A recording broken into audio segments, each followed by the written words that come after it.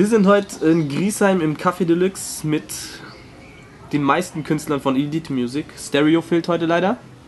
Ja, liebe Grüße an Stereo, gute Hey. Besserung. Genau, der ist gerade krank. Kurier Aber wir, denk, Bruder. wir denken an dich. Ähm, in der Mitte haben wir einmal äh, Hen Violet sitzen, Hi. links äh, Sean und rechts RSC von Afroplanet. So sieht's aus. Ähm, jo, fangen wir gleich an mit dem Interview. Und zwar, Elite Music ist euer Label. Ja. Ähm, wie seid ihr zu dem Label gekommen? Gehen wir mal mit dem Content möchtest Soll du? ich mal anfangen? Ja. Ja. Ladies first. Lady first. Ähm, ja, also Cleve, das äh, habe ich dir irgendwo zu verdanken. ich habe mal einen Song von dir ähm, auf deinem Blog, oder du hast ihn hochgeladen auf deinem Blog. Ja, und äh, so hat dann auch der Manager von Elite Music mich gefunden. Der guckt nämlich gerne mal auf hiphop.de, was so abgeht. Und ja, da hat er mich halt auf Facebook gesucht und gefunden und so sind wir dann connected. Ja, und bei uns war das so, dass wir, das haben wir unserem Kollegen Adil zu verdanken. Der hat uns da so ein bisschen gemanagt und äh, weitervermittelt an den Boss von Elite Music und hat uns da weiterempfohlen. Und ja, dann hat man sich einfach mal getroffen, ein bisschen ausgesprochen und äh, welche Ziele und Träume man so hat. Und die Verbindung stimmt auf jeden Fall. Also wir wollen alle in die gleiche Richtung. Und deswegen kam dann die Zusammenarbeit. Afroplanet, Elite Music. Die Zukunft deutscher Musik. Okay, ähm, Elite Music ist ein neues und recht auch äh, kleines Label. Hängt man da privat auch äh, jetzt viel zusammen ab oder ist es dann eher auf die Studioarbeit beschränkt? Ja, okay, ich sag mal so, ähm, natürlich irgendwie, ähm, hat man sich irgendwie vorher nicht gekannt, jetzt die einzelnen Künstler, der schon noch nicht kennen, kennen uns das schon, wir sind ja zusammen F-Planet, aber ähm, ich sag mal so, wenn die Gelegenheit auf jeden Fall da ist, dann nutzt man schon irgendwie die, äh, die Freizeit, sich mal zu treffen, um über spätere oder zukünftige Pläne zu sprechen. Ähm, aber das ist jetzt nicht so, dass wir jetzt jeden Tag äh, Dings, wir uns jetzt anrufen, ja okay, lass mal da und da treffen oder so, weil ich meine, jeder ist irgendwie privat auch, oder eine Privatperson hat irgendwie äh, bestimmte Dinge zu erledigen und ja. Aber sonst, wenn die Zeit dazu da ist oder wenn es irgendwie ansteht oder wenn es sein muss, dann auf jeden Fall. Aber wir verstehen uns auch privat so. Ich denke mal, das ist auch wichtig, wenn man unter einem Label ist, dass man sich auch privat versteht und nicht jetzt einen auf ähm, vor der Kamera, jetzt einen auf ja, Friede, Kuh, äh, Dings, Friede, Eierkuchen. Eierkuchen sozusagen. Aber ähm, ja, alles cool eigentlich soweit. Dazu muss man ja auch sagen, dass es noch relativ frisch ist. Und ja, was noch nicht ist, was noch nicht ist, das kommt auf jeden Fall. Das wird noch. Ähm, ihr seid ja auch äh, verschiedene Charaktere mit äh, verschiedenen Musikstilen. Ähm, wie passt das alles beim Label unter einen Hut? Also da will auch jeder sein, sein Ding machen und ähm, Ja, das kann ja jeder machen. Ja, wie du schon sagtest, verschiedene Stilrichtungen. Wir haben ja, was viele auch immer denken, also beziehungsweise haben es die Medien jetzt in letzter Zeit dargestellt, als wären wir eine Gruppe, eine Crew oder so. Wir sind einfach nur ein Label mit verschiedenen Künstlern. Also nur noch zum Mitschreiben. Elite Music ist ein Label. Handball ist eine eigene Künstlerin. Afroplan ist eine Wir, wir wollen nicht mit dir arbeiten. Nein, wir wollen nicht. Bitte nicht in einen Topf stecken. Nee, Quatsch. Ja, der Stereo ist unser Reggae-Künstler. Also wir sind alle Solo-Künstler. Der, der Gemeinschaftstrack zum Beispiel ist auch so eine Visitenkarte von unseren verschiedenen Stilrichtungen. Deswegen haben wir auch drei verschiedene Beats. Aber nochmal zurück zu deiner Frage, ich denke einfach mal, das ist halt das Problem, was hier in Deutschland ist, dass man so direkt irgendwie alles auf, über einen Haufen kämmt, ja.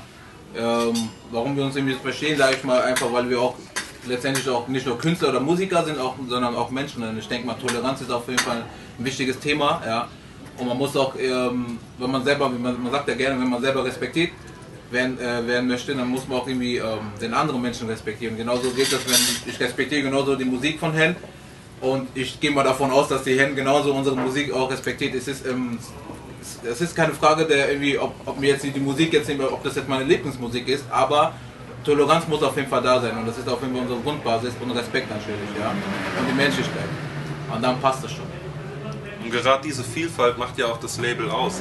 Die meisten Labels sind ja so unterwegs, dass die Künstler fahren alle in eine Richtung und dann weiß man auch ganz genau, okay, das Label geht auch nur in die Richtung, aber bei Elite Music ist es genau andersrum, dass jeder sein Ding machen kann und trotzdem sind wir alle auf einem Level und alles easy und deswegen Ich würde sagen, wir sind einfach breit aufgestellt. Wir können alles attackieren, was wir wollen. Wir Genau. haben hier den Reggae-Bereich, wir Ja. haben Hip-Hop. R&B. Pop. Genau, genau Pop, Wir haben R&B, Rockstars. Alles, was alles. ihr gerne mögt, haben wir Alles, was hier. ihr wollt. Habt ihr genau hier, Baby. So sieht's aus. Bestellen. Ähm, Hen, du hast gerade eben schon angesprochen.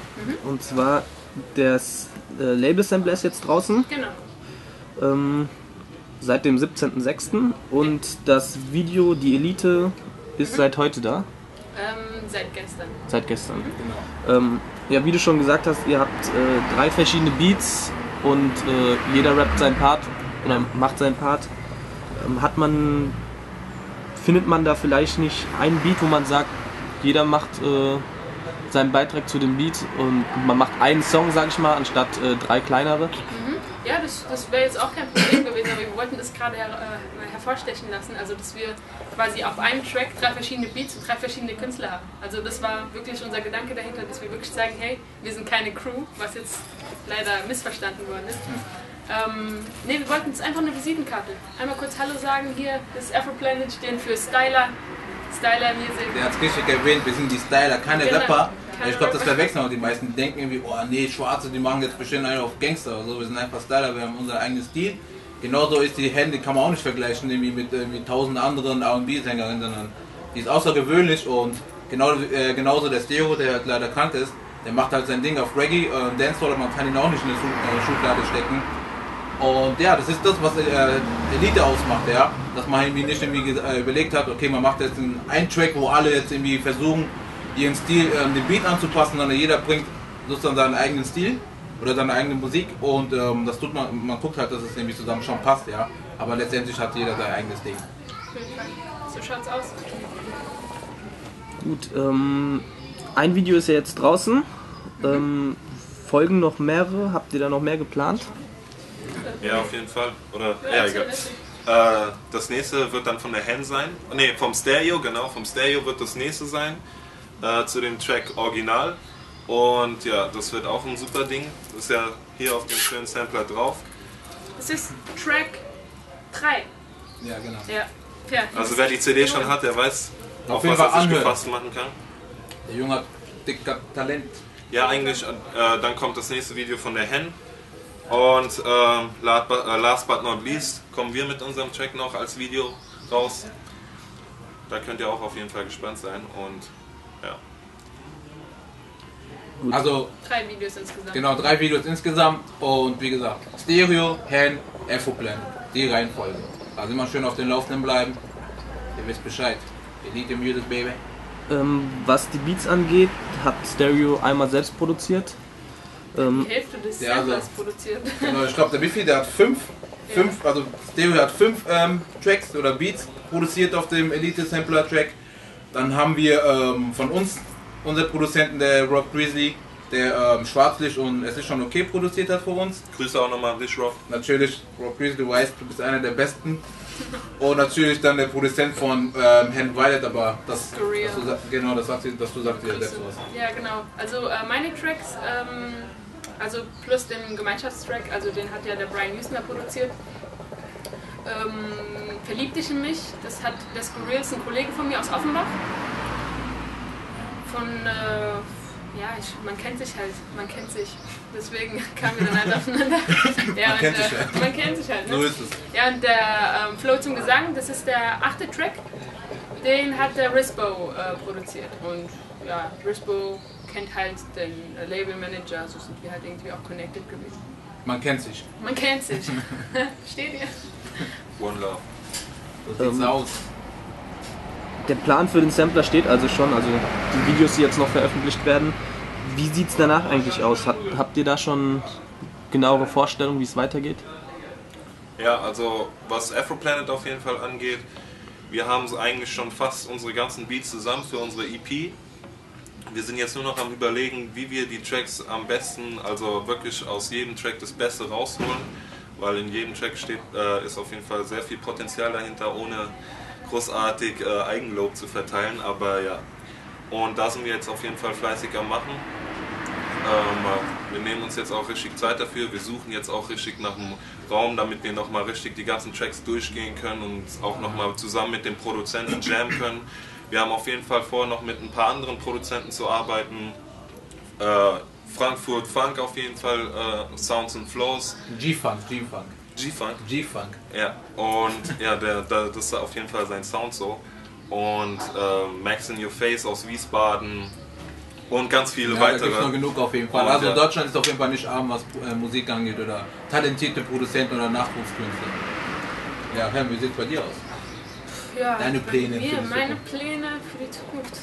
Ja, es steht einiges an. Also was ich jetzt schon sagen kann, ist, dass Ende des Jahres, Oktober, November, so um den Dreh, dass da meine Unplugged-EP rauskommen wird. Also Gitarre, ja, Live- Live-Elemente auf jeden Fall. Also es wird, wird schon eine geile Sache. Da sind wir schon selber gespannt drauf, also auf jeden Fall. Ja, und äh, mehr kann ich nicht verraten und will ich auch nicht. seid, einfach, seid einfach dabei und bleibt alles mit. Ja, wir dürfen, wir dürfen, wenn wir gleich alles verraten, dann sagt ihr so, Ja, ah schon nee, dann wollen wir die CD ja nicht ich mehr mehr. kaufen. Weißt Ja. meine? Aber wir hatten das Glück, dass wir schon ein bisschen reinhören dürfen. Ja, auf, also ich sag, so viel können wir verraten. Die Frau, die hier rechts neben mir ist, Bombe. Ich meine das wirklich Bombe, übertrieben. Ja, also nicht unterschätzen. Willkommen, Elite, ihr wisst Bescheid. Also Elite-Musik hat auf jeden Fall einiges vor. Auf jeden Fall, also ich meine, das ist ja das, was ihr jetzt irgendwie gerade irgendwie mitkriegt oder ja, das ist irgendwie das erste, das erste von Von Elite Musik. von Elite Musik, Produkt, das Baby Edition. sozusagen, ja. Na klar müssen wir das promoten, wir lieben das auch über alles, aber ähm, wie es natürlich auch so im Leben ist, wenn man ein Kind gemacht hat, dann hat man natürlich mehr auf mehrere Kinder sozusagen und so sieht es bei uns aus. Wir sind verliebt und also wollen wir noch Noch mehrere mehr, Kinder machen. Noch mehr Kinder. Sprich mehrere CDs und Videos und was noch alles ansteht. Also ihr könnt auf jeden Fall auf dem Spannenden bleiben und ja, ihr hört auf jeden Fall noch von uns. Dann bedanke ich mich für dieses kleine Interview ähm, und die letzten Worte gehören dann euch. Auf jeden Fall bestellen unseren Sampler Elite Music Volume 1. Ihr wisst wo, auf www.elite-music.de. 10 Euro kostet das schöne Stück. Das ist auf jeden Fall äh, mehr als 10 Euro wert, würde ich mal sagen. Ja, auf jeden Fall. Und äh, ich leg's mal so Feierabend, hin. was da drauf ist. Ihr müsst ihr echt bestellen. Ja. Ähm, und ja, Ansonsten, ihr seht uns ja auch gerade hier bis am Chillen mit der Ja, Shisha. wir schießen gerade, gell? So sieht's aus. Wir schießen so. gerade. Wir rauchen keine Shisha, wir schießen. wir schießen. Da wisst ihr auch wo, in Griesheim natürlich. Kaffee Deluxe. Kaffee Deluxe, ihr könnt Billard spielen kommen, Automat für unsere Maracuja-Saft. Aus dem Block. Shisha rauchen, wer es chillig haben möchte. Und Maracuja-Saft. Maracuja-Saft. Kein Alkohol, gell? Maracuja-Saft. So sieht's aus. Peace.